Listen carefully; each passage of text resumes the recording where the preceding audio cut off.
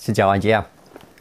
À, đọc cái tiêu đề thì chắc là nhiều người cũng sẽ hoảng vì nghĩ rằng là đã có một cái à, vấn đề nghiêm trọng à, đối với đoàn Quý Lâm. À, tuy nhiên là đoàn Quý Lâm không thể không chia sẻ cái video này vì à, nó sẽ có ích cho nhiều người.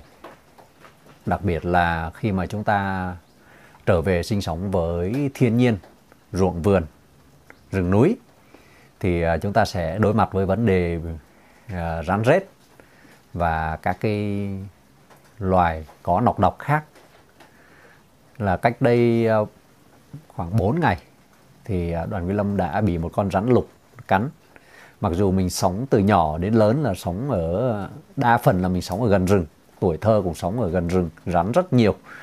Chứng kiến có những con rắn nó to như cái bắp chân, dài như cái đòn gánh, rồi là có những con rắn nó uh, rất là dữ tợn. Nó về sát nhà. Nó bắt chuột. Uh, vào vào rừng cũng gặp rắn nhiều. Nhưng mà đến bây giờ mới thực sự là lần đầu tiên uh, trải nghiệm cái việc mà bị rắn độc cắn nó như thế nào. Uh, đó là chiều hôm thứ năm vừa rồi cách đây bốn hôm thì đoàn người lâm có mang đồ đi ra xe để đi lên đà, à, trung tâm thành phố Đà Lạt. Thì khi mà bước ra à, nói, khi mà mang đồ đi vào đi ra thì mình mang dép nhưng mình làm biển, mang giày. Đang mang dép à, dép lào thì nó hở cả mấy đầu ngón chân này. Thì ra tới, đang vừa mở cửa ô tô để bỏ đồ lên thì nghe một cảm giác đau nhói ở cái à, cái ngón chân. Và mình giật mình nhìn xuống thì thấy một con rắn lục xanh. Rắn lục ở đây thì thường là rắn lục đuôi đỏ. Và cũng là một loại rắn độc, được xác định là khá độc thế là mình à, cũng à, bắt đầu à, cảm thấy lo lắng vì chưa bao giờ trải nghiệm cái điều này. Và sơ cứu và chính những cái cái cái thứ mà đoàn cái lông dùng tới là nó mang lại cái sự an toàn cho mình. Mặc dù là do dùng nhiều món nhưng mà mình sẽ nói những cái thứ quan trọng để cho anh chị em á, có thể rút kinh nghiệm từ cái vụ việc của chính ờ, Lâm ờ, và có thể giúp ích cho người khác khi mà mình nắm được cái một vài cái mẹo, một vài phương pháp chữa trị bằng ờ, phương pháp dân gian thì trong trị rắn độc cắn.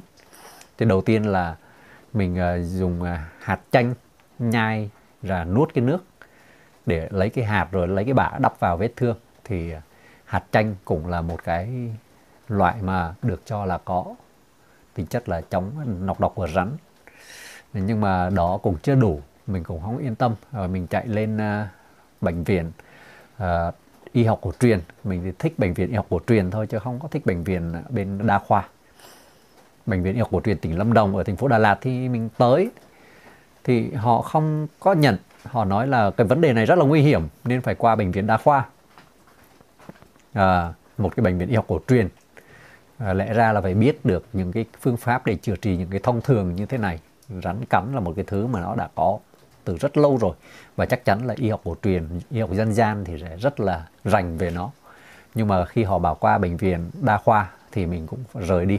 Và trên đường đi qua bệnh viện đa khoa thì mình gọi điện cho một người bạn ở Di Linh. Vì mình biết là bạn này có nhiều mối quan hệ với các cái vị như là thầy thuốc hay là những cái vị mà võ sư ờ, chuyên trị ở Ờ, người đời họ hay gọi là có thể gán ghép cho người ta là lang băm, lang vườn nhưng mà thực ra là là những người đó có cái kiến thức rất tốt trong trị bệnh dân gian. Và trước đây thì chúng ta cũng đâu có bệnh viện đâu.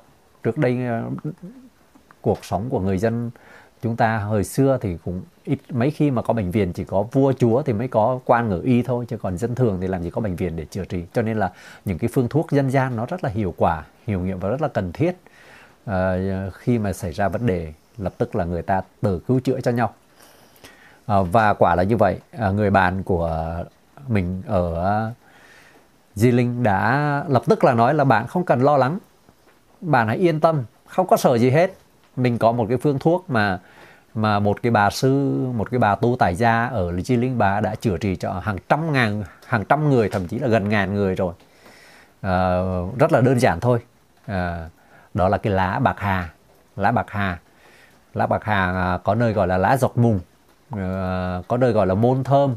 Đó là cái cái chúng ta nói như vậy nhiều người cũng chưa hiểu có thể không biết. Nhưng mà nếu mà nói cái lá bạc hà để mà nấu canh chua mà chúng ta thấy giống cái môn ấy, sắt ra giống cái môn à, cái cái cái bèm môn ấy, à, thì chúng ta sẽ hình dung được. Dùng hay loại dùng nấu canh chua và lẩu lẩu đấy lẩu thái rồi đó thì à, bạn bảo lấy một cành và có thể là xay sinh tố hay là ép nước để uống hoặc là giã ra vắt nước để uống. Còn cái bã thì đắp vào vết thương. Và uh, bạn dán đi dán lại là yên tâm không sợ không cần đi bệnh viện. Uh, đối với một cái ca mà nó có thể gây nguy, nguy hiểm tính mạng theo những quan niệm của nhiều người mà bạn nói tự tin như vậy thì mình cũng rất là vui vẻ tự tin và không lo lắng nữa và bắt đầu ghé vào một cái quán của bạn ở trên Đà Lạt thì bắt đầu nhờ uh, bạn đi mua cái ờ, cây bạc hà cái lá bạc hà về và xay sinh tố để mình uống và lấy bạ đập vào chân. Thì sau đó mình về gần nhà mình xin ờ, một cái cành bạc hà tươi có lá nữa. Ngoài chợ thì người ta bán thì người ta cắt cái lá đi rồi. Còn cái bè không? Có về xin thêm được một cành có lá thì nó tốt hơn. Thì xay cả lá cả cành lấy nước uống bạ đập vào vết thương tuy nhiên là khi mà biết được à, đoàn quý lâm bị rắn độc cắn thì rất là nhiều anh chị em bạn bè lo lắng và uh, chính vì vậy mà đoàn quý lâm đã tiếp nhận những cái phương pháp khác nhau. Ngoài cái phương pháp mà dùng lá bạc hà đó thì một em hàng xóm là em toàn có đưa qua cái dầu phong. Dầu phong uh, là một loài dầu khá tốt và cũng nhưng mà cũng ít thông tin trên mạng. Thì dùng cái dầu phong đó vừa uống vào miệng và vừa bôi vào vết thương. À, rồi à, hai vợ chồng à, bạn à, Lan Anh Dương Quốc Trung ở bên Lạc Dương thì lại à, có một cái mèo khác đó là dùng à, tương tamari. Cái tương tamari là loài tương lên men lâu năm ít nhất là 3 năm là loài tương của Nhật Bản đó.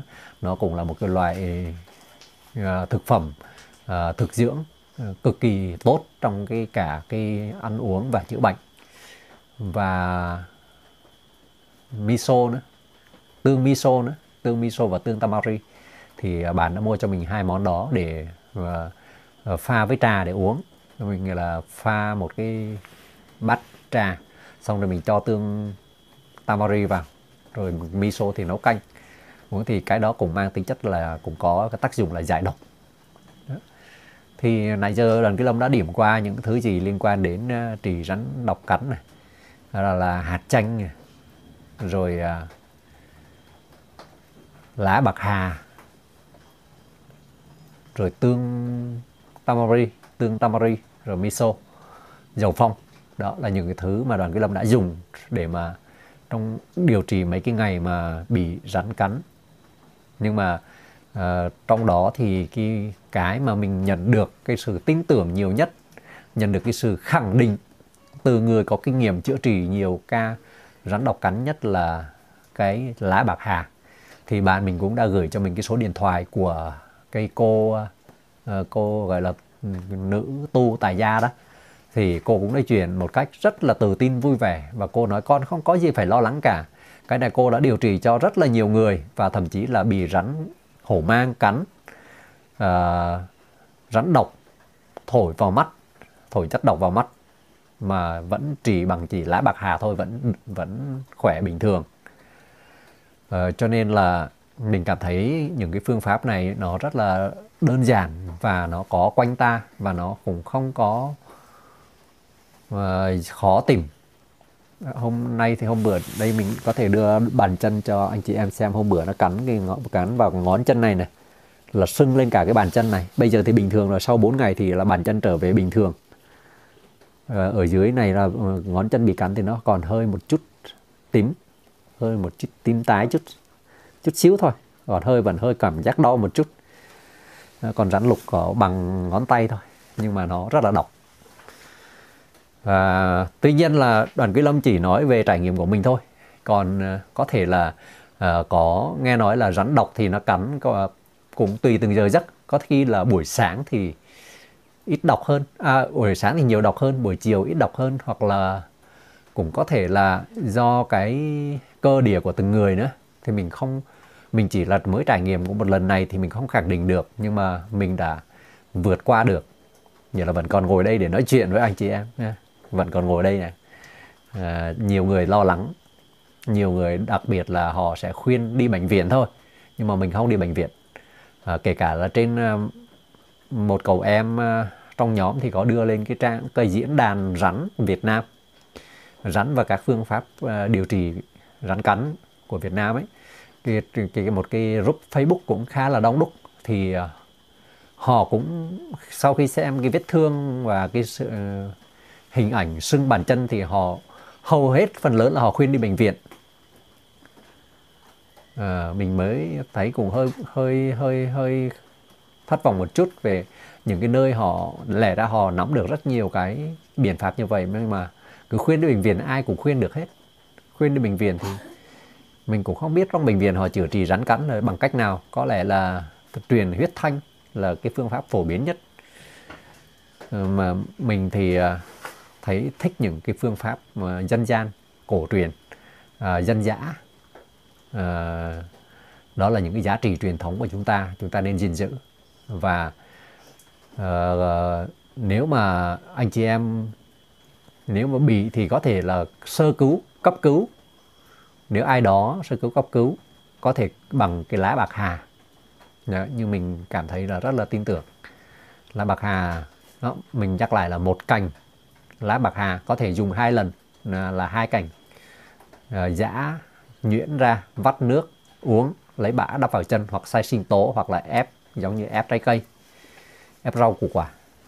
Thì uh, mình uh, cho đến ngày hôm nay thì mình cảm thấy hoàn toàn yên tâm rồi. Cho nên mới bắt máy lên để quay video chia sẻ cho mọi người để cho mọi người nắm thêm được một cái kinh nghiệm.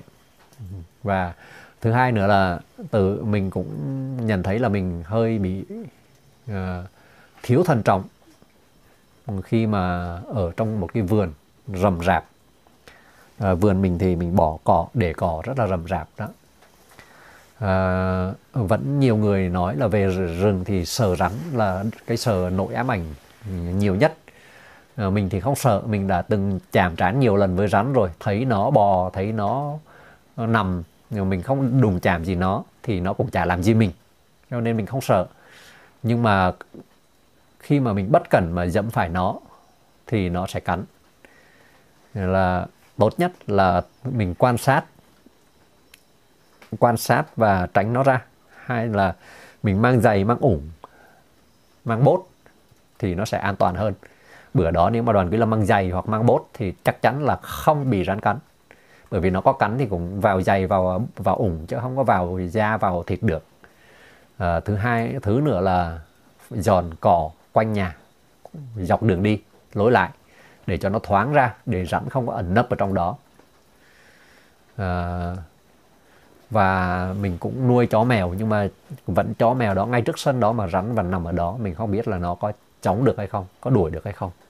Mà có thể cũng hạn chế phần nào thì trong cái video lần này đoàn Kỳ Lâm đã chia sẻ một cách rất là đầy đủ và chân thành về cái diễn tiến và bị từ bị rắn cắn điều trị và cho đến ngày hôm nay là ngày thứ tư. Thì uh, chắc chắn rồi là mình sẽ không sao hết. Chỉ có hơi đau một chút trong những ngày đầu và sưng tấy lên ở bàn chân và hơi đau nhức một chút khi đi lại. Và bây giờ thì chỉ còn một cái cảm giác rất là nhẹ thôi. Ừ, và hy vọng rằng là tất cả anh chị em uh, sẽ thận trọng có đề phòng và có những biện pháp uh, để mà không dính phải cái trường hợp như đoàn quý lâm. Uh, uh, chúng ta nếu lỡ mà có ai đó mà dính phải thì hãy à, nắm cái kiến thức mà đoàn quý lâm vừa chia sẻ. Đương nhiên là chúng ta cũng cần chủ động Ờ, xem thử cái sức đề kháng của mỗi cá nhân như thế nào và chọn phương pháp phù hợp chứ đoàn quý lâm không khẳng định là cái nào tốt hơn cái nào ở đây đoàn quý lâm chỉ nói rằng là mình đã dùng những phương pháp đó và đã vượt qua được cái vụ mà rắn độc cắn Ok, xin cảm ơn mọi người đã xem video. Xin chào tạm biệt.